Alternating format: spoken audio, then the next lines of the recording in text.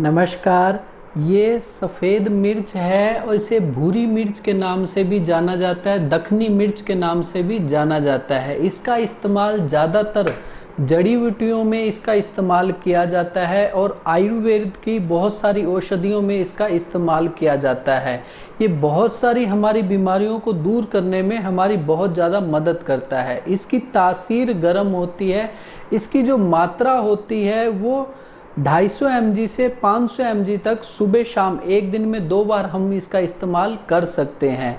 250 सौ का मतलब ये हो गया दो चुटकी और 500 सौ का मतलब हो गया चार चुटकी। ये आप चार चुटकी सुबह, चार चुटकी शाम को इस्तेमाल करेंगे तो आपको कभी नुकसान नहीं करेगा और ज़रूरत से ज़्यादा मात्रा में इसका इस्तेमाल करते हैं तो नुकसान करती है। इसका सही तरीका होता है, पाउडर के रूप में इसका इस्तेमाल किया जाता है, काढ़े के रूप में इसका इस्तेमाल किया जाता है कुछ बीमारियों में लेप के रूप में इस्तेमाल किया जाता है, कुछ बीमारियों में हिम के रूप में इसका इस्तेमाल किया जाता है। इसकी किसी प्रकार की कोई आदत भी नहीं पड़ती है। और सबसे बड़ी बात, इसको हम जिस बीमारी को ठीक करने के लिए इसका इस्तेमाल कर रहे हैं, वो बीमारी हमारी जड़ से ठीक हो जाती है, उसके बाद हम इसका इस्तेमाल एकदम बंद भी कर सकते हैं। जिन लोगों की नज़र कमज़ोर है, शाम के समय उनको कम दिखता है या नहीं दिखता है या जिनको मोतियाबिंद की शिकायत है, उनके लिए सफ़ेद मिर्च 50 ग्राम और बादाम गिरी 50 ग्राम, सूखा धनिया 50 ग्राम और आंवला सूखा 50 ग्राम और धागे वाली मिश्री का पाउडर 100 ग्राम। इन सभी को पीस के मिला के एक जगह रख लें। एक चम्मच सुबह खाली पेट रोज़ाना गाय के दूध के साथ लेना शुरू कर दें। इससे आँखों की रोशनी भी बढ़ती है और आँखों से संबंधित सभी प्रकार के विकार भी दूर हो जाते हैं। सिर दर्द में भी सफ़ेद मिर्च का बहुत ज़्यादा इस्तेमाल किया जाता है। कैसे इसका इस्तेमाल किया जाता है? बादाम गिरी सौ ग्राम और दखनी मिर्च 50 ग्राम और धागे वाली मिश्री का पाउडर आपने 50 ग्राम मिलाना है। मिला के आधा चम्मच सुबह, आधा चम्मच शाम को खाना खाने के एक घंटे बाद गाय के गर्म दूध के साथ इस्तेमाल करने से सिर की नसों में ताकत आती है क्योंकि इसका प्रभाव जो पड़ता है, सिर की नसों में पड़ता है, उनमें खून दौरा अच्छे से होता है और सिर दर्द की समस्या से बहुत ज़्यादा जल्दी छुटकारा दिला देता है ये। जिन महिलाओं के चेहरे पे बाल निकल आते हैं और वो हार्मोन्स के इनबैलेंस के कारण होता है, वो तरह तरह के उपाय करते हैं, मगर वो बाल पूरी तरह से स्थायी रूप से नहीं जाते। उनको जो मैं घरेलू नुस्खा बताने जा रहा हूँ, उसका इस्तेमाल करने से उनके बाल जो चेहरे के वो हमेशा के लिए लुप्त हो जाएँगे। कैसे इसका इस्तेमाल करना है, मैं ये बताता हूँ। हल्दी साबुत आपने लेनी है 100 ग्राम और सफ़ेद मिर्च आपने लेनी है 50 ग्राम और कपूर लेना है 50 ग्राम। तीनों को लेके पीस के पाउडर बना लें और जिस जगह से आपने बाल को हटाना है, उस जगह पे नारियल तेल की हल्के से मसाज कर लें।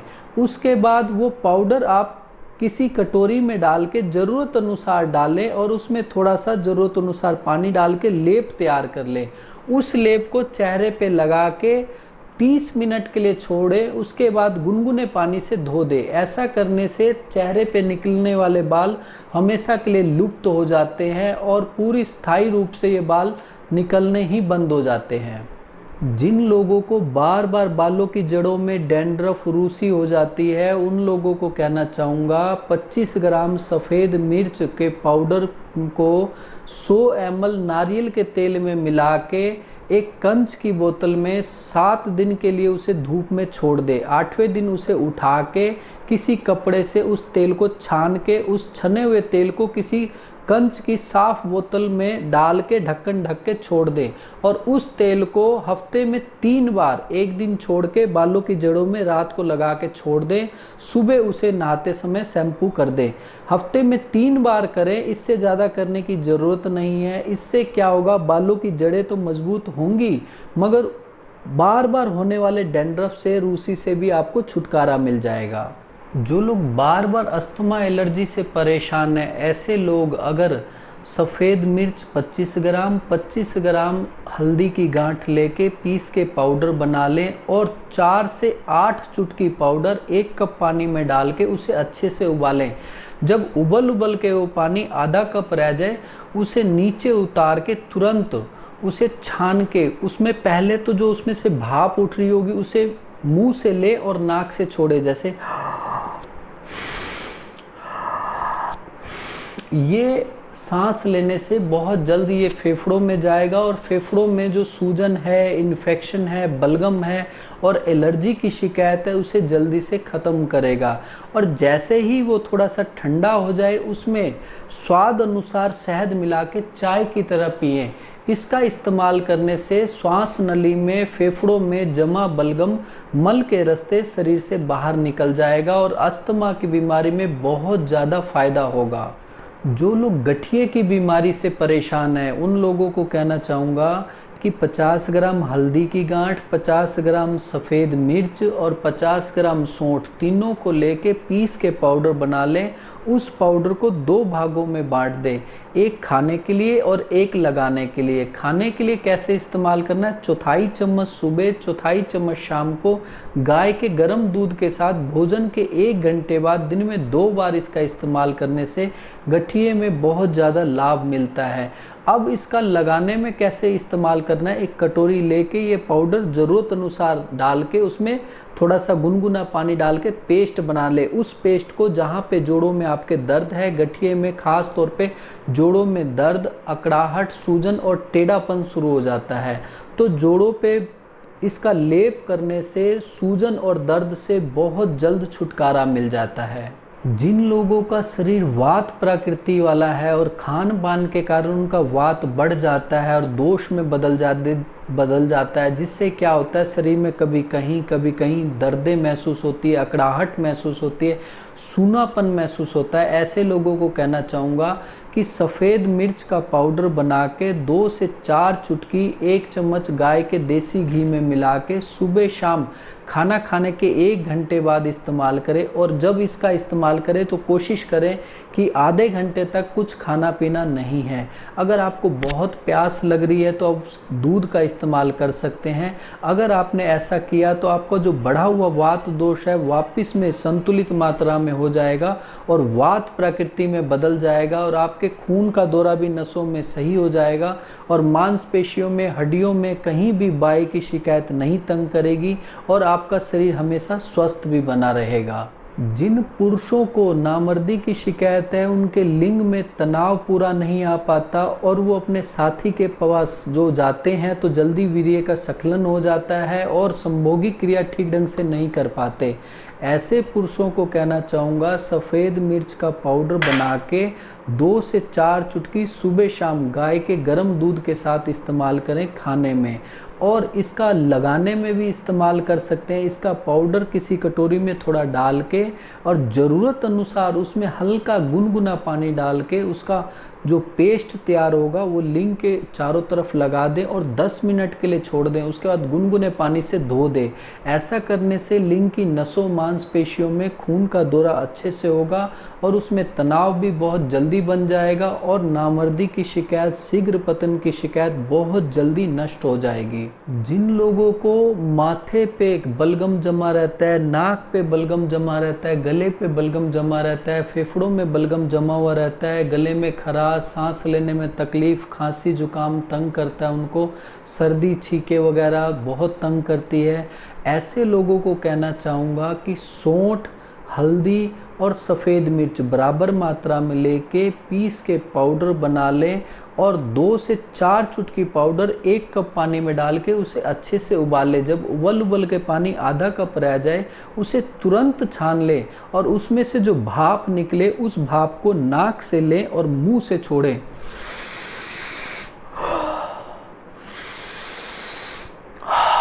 इस तरह, जैसे ही वो भाप निकलना बंद हो जाए, वो थोड़ा सा ठंडा हो जाएगा। उसमें स्वाद अनुसार आप देसी खांड या शहद मिला के उसे चाय की तरह पी जाए। मतलब ये काढ़ा आपका भाप के लिए भी इस्तेमाल हो गया और पीने के लिए भी इस्तेमाल हो गया। इसको इस्तेमाल करने से जो साइनस एलर्जी वाले पेशेंट हैं, उनको बहुत अच्छा आराम मिलता है। ये नाक खुल जाती है। यहाँ और फेफड़ों में सब जगह जो बलगम जमा रहता है, हमेशा सिर दर्द, छीके तंग करती है।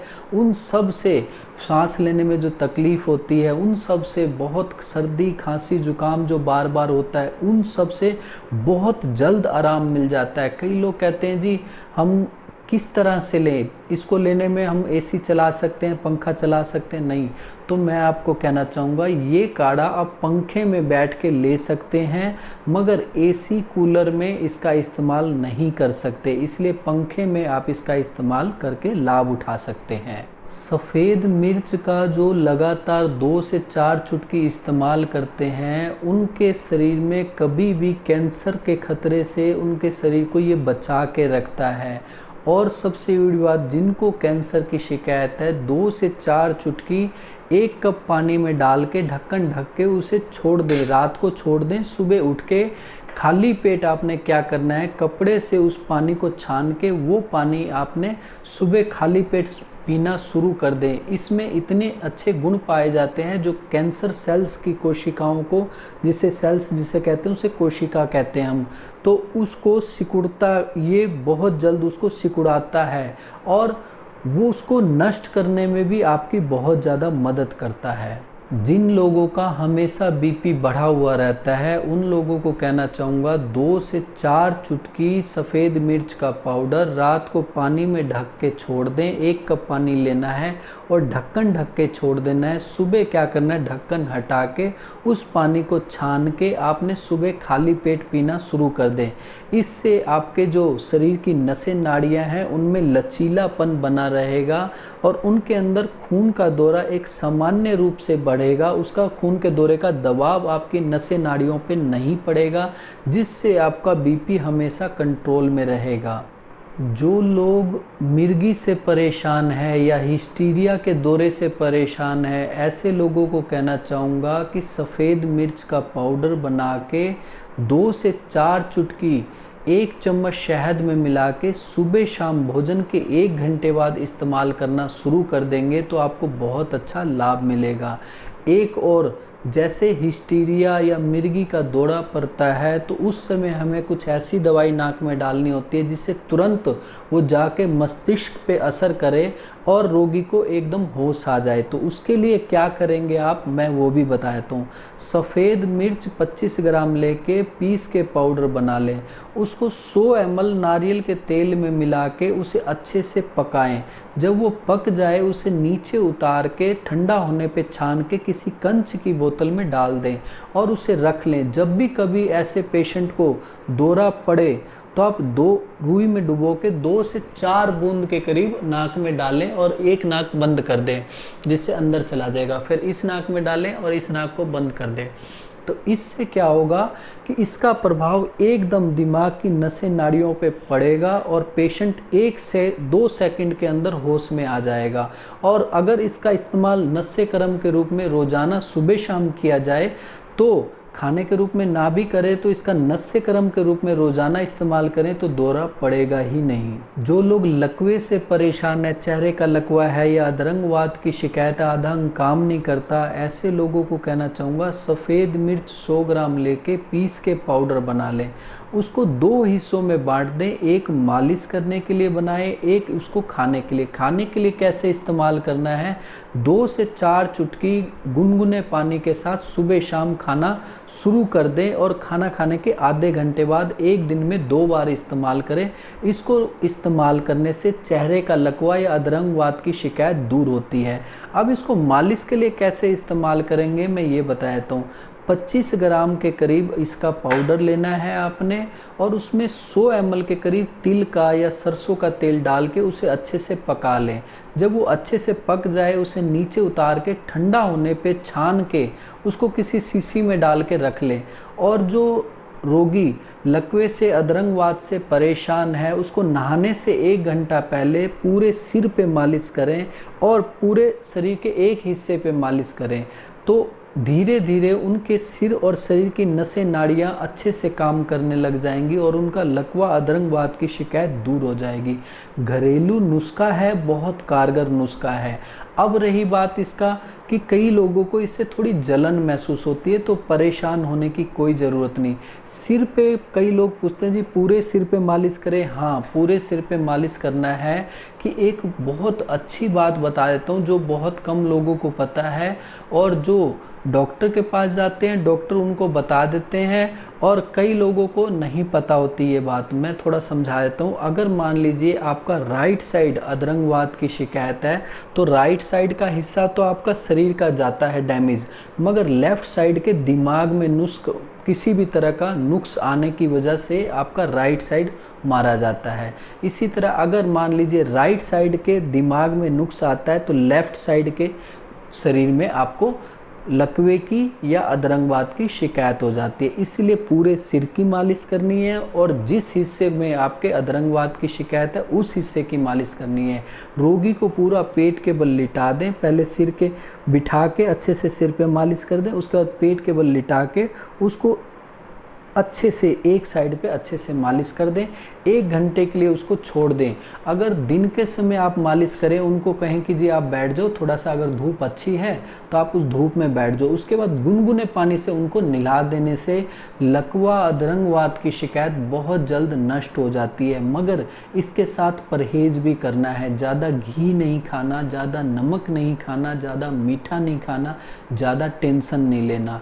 इससे बहुत जल्द लकवे अदरंगवाद के रोगी बहुत जल्द ठीक हो जाते हैं। तेज रोशनी में भी नहीं देखना, क्योंकि मैंने देखा है लकवे अदरंगवाद के जो रोगी होते हैं, उनको बार बार ये दौरा पड़ता है, जो लकवे का अदरंगवाद का दौरा पड़ता है। तो इस विधि से इस्तेमाल करने से, इस नुस्खे को इस्तेमाल करने से वो दौरा भी नहीं पड़ता और रोगी बहुत जल्द स्वस्थ भी हो जाता है। जो लोग दिल की बीमारी से परेशान है, घबराहट, बेचैनी, सांस से संबंधित परेशानी, छाती में दर्द उनको तंग करता है, ऐसे लोगों को कहना चाहूँगा, एक कप पानी में दो से चार चुटकी आपने सफ़ेद मिर्च का पाउडर डाल के उसे अच्छे से पकाना है।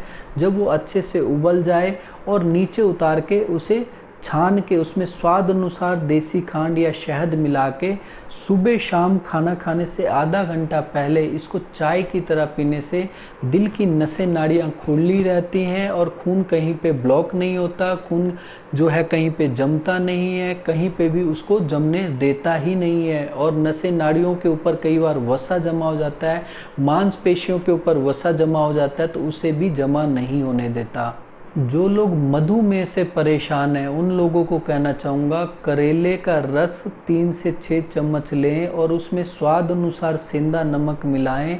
उसके अंदर दो से चार चुटकी आप सफ़ेद मिर्च का पाउडर मिला के सुबह शाम खाना खाने से आधा घंटा पहले लेना शुरू कर दें तो आपको मधुमेह की शिकायत बहुत जल्द ठीक हो जाएगी, आप पूर्ण रूप से स्वस्थ हो जाएँगे। सफ़ेद मिर्च के मैंने आपको इतने सारे फ़ायदे बताए तो इसके कुछ नुकसान भी है, वो भी बताता हूँ। जिन लोगों को बवासीर की शिकायत है, ऐसे लोग सफ़ेद मिर्च का इस्तेमाल ना करें।